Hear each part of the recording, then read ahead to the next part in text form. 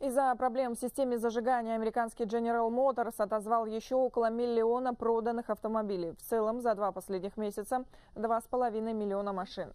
Это авто, эти авто выпущены с 2007 по 2011 годы. Дефект состоит в том, что во время движения у машины отключается двигатель. Это приводит к сбою в тормозной системе и устройствах безопасности.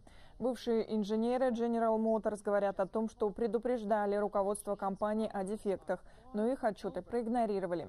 В результате проданные автомобили попали в 34 ДТП и стали причиной смерти 12 человек.